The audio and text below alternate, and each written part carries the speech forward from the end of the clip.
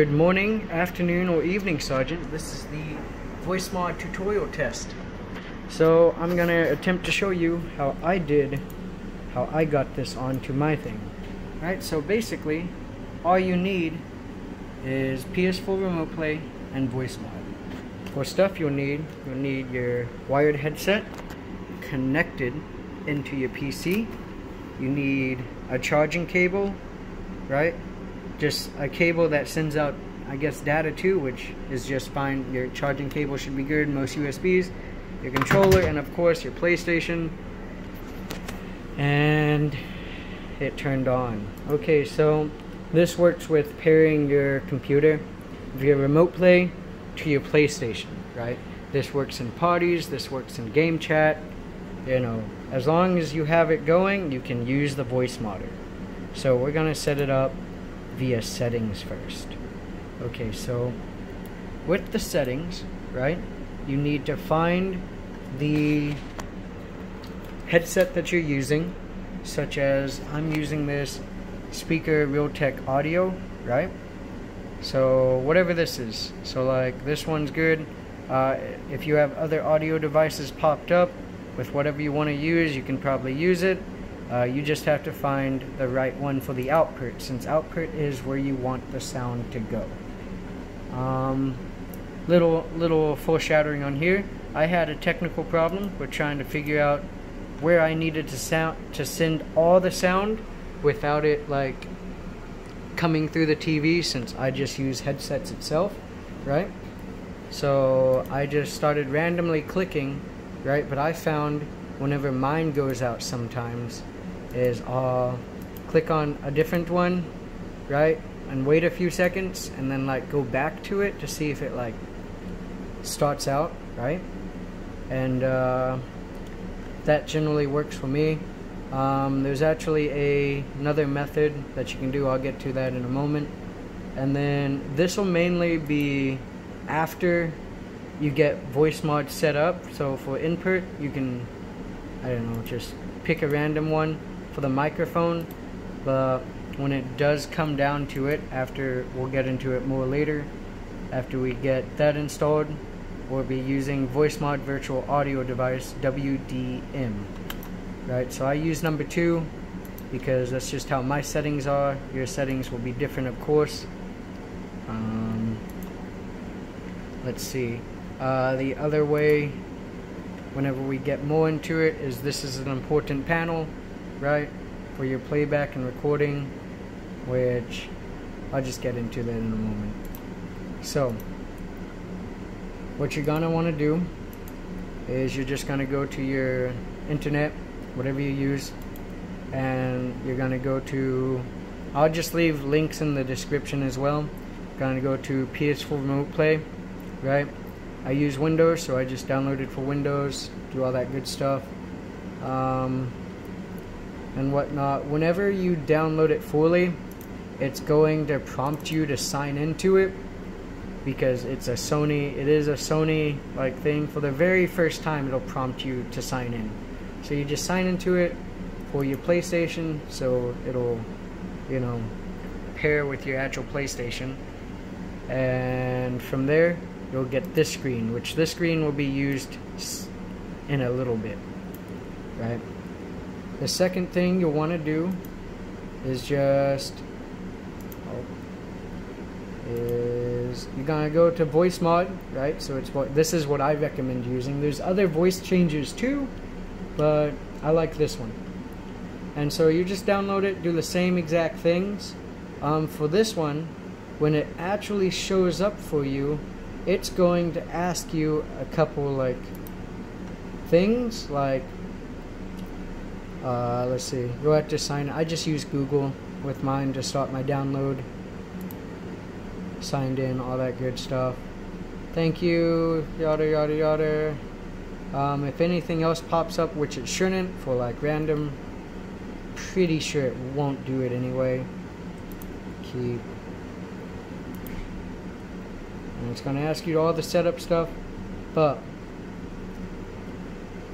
let's see if it does it for me again so I can show you on this technically I'm downloading it a second time.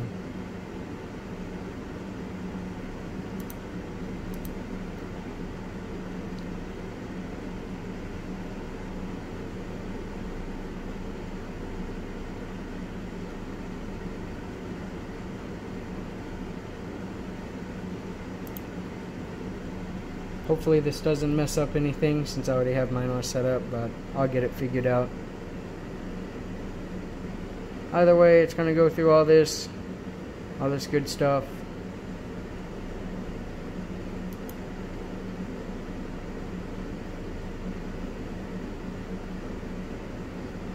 Gonna restart your computer. So I canceled it, right? Launch. So that's just going to be... I don't know what that is technically. Either way, I think it just be is because I just tried to download it twice. Either way, I'll just go into it.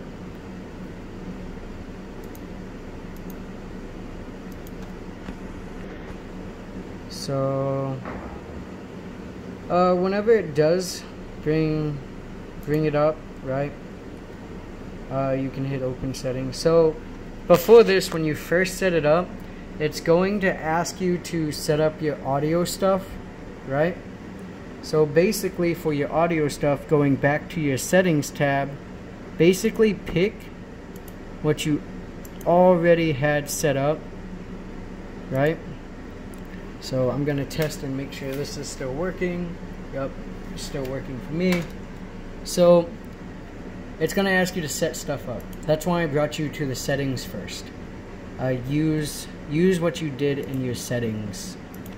Um, except whenever whenever you do install it, it's going to bring up microphone for voice mod. That is what you're going to use from then on out for whenever you use this. Go down here.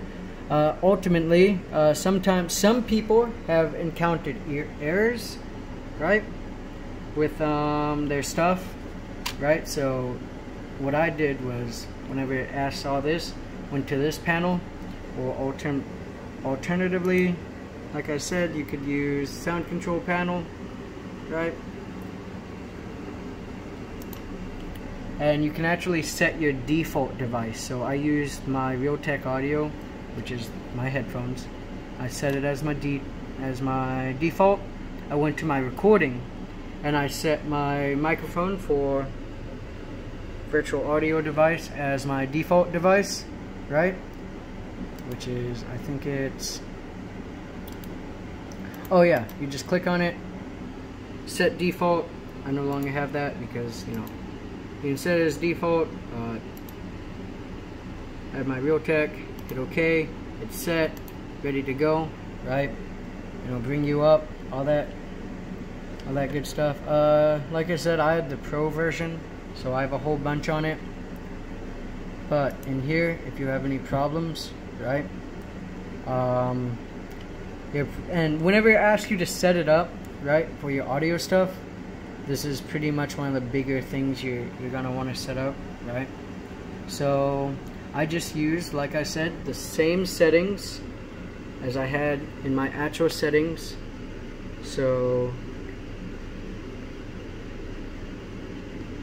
output or input microphone for this so it hears me output for this. I'm gonna make sure I can still hear it with my uh, oh I don't have my I'll get to it when I get to it. So for this connect your controller. There you go.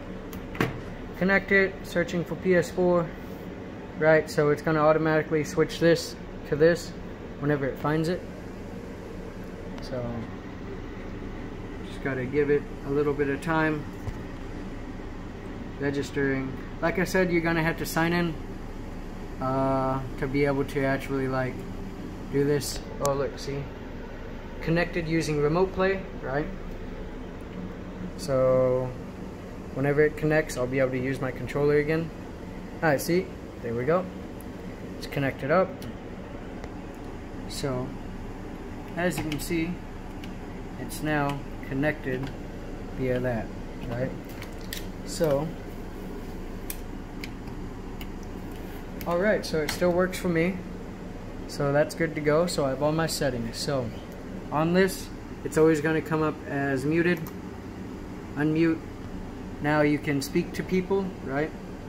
When you have voice mod up, right? So you make sure everything's good to go. If it cuts out on you sometimes, like I said, come back to here and make sure all of these are reset up to what you need it to be set up to. Because sometimes for me, it changes uh, the output and input, or um, yeah, output and input device. So I just go back to it and I just reset my settings, right? So I generally have this over here.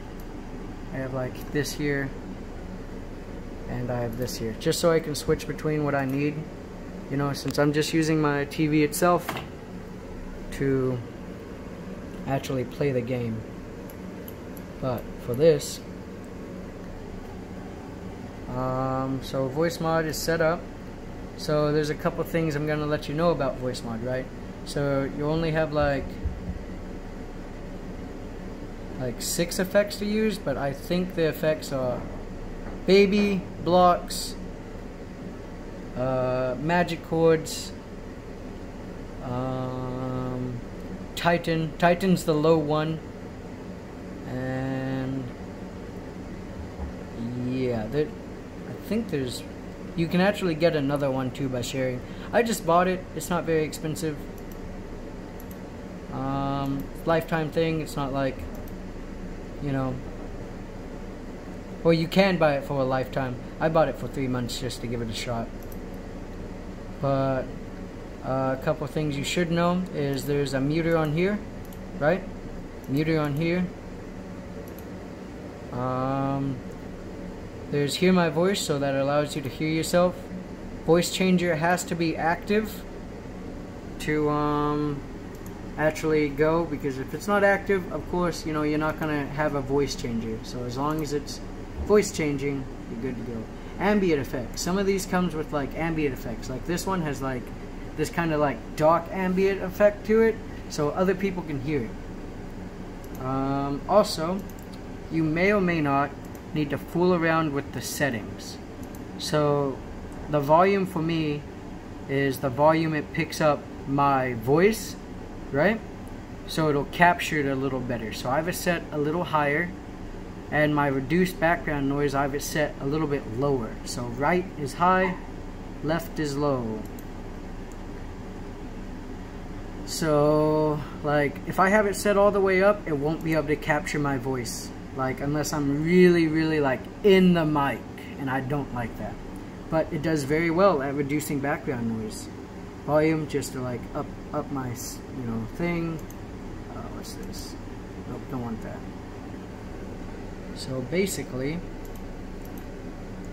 I think that's good to go. Like I said you can test it out. This will let you know if you're even talking. Right. Uh, you just put on hear your voice put on the headsets see if it's going. Um, trying to think of anything else you could possibly need to know. Uh, either way, it's kind of a longer explanation video. Sorry about that. But like, if you have any like questions over it, you can let me know. Um, but yeah, so basically, set your settings. After you install both PS4 and voice mod. Um,